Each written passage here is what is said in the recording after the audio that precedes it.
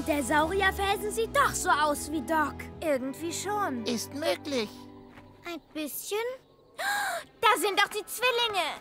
Dina, Dana, bin ich froh, dass euch nichts passiert ist. Gucka, Opa Cyril, da. Siri, Siri, Dina, Dana, Opa hoch. Was haben sie gesagt? Du sollst mal hochsehen, sie sind ganz oben auf der Spitze. Ja, seid bloß vorsichtig, Kinder.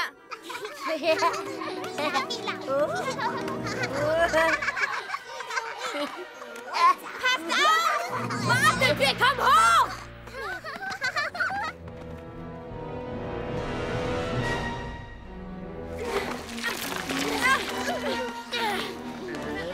Andere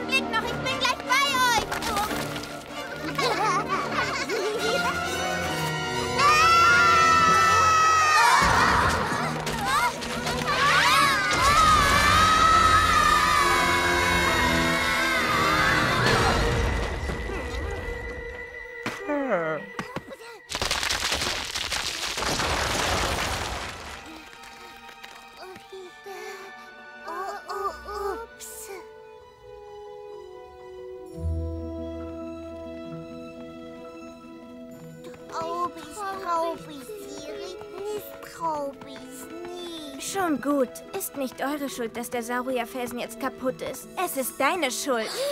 Wieso? Was hab ich denn gemacht? Wenn du nicht von diesem Saurierfelsen geredet hättest, dann wären Dina und Dana gar nicht erst weggerannt. Siri sagt wir Winky, Winky. Was haben die Kleinen gerade gesagt, hä? Sie meinen, du warst doch diejenige, die gesagt hat, sie sollen verschwinden.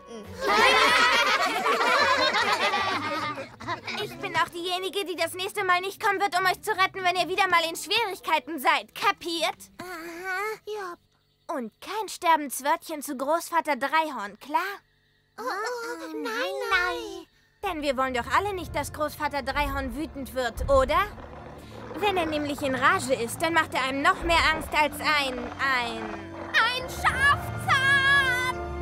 Nein, ich denke, ein Schafzahn jagt einem doch noch ein bisschen mehr Angst ein. Glaub ich zumindest. Nein, nein, Sarah, da wirklich hinter dir. Jetzt hört auf mit dem Quatsch. Der Witz ist doch nun wirklich schon steinalt. Aber, aber, aber, aber, aber, aber, aber.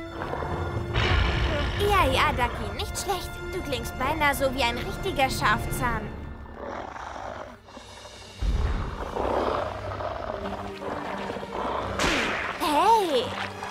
Fängt es jetzt etwa an zu regnen?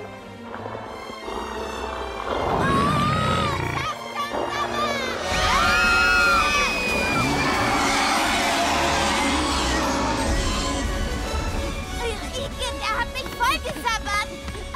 Hätte ich gleich benutzt als Zahnstocher, wenn du nicht schneller laufst. Schnell,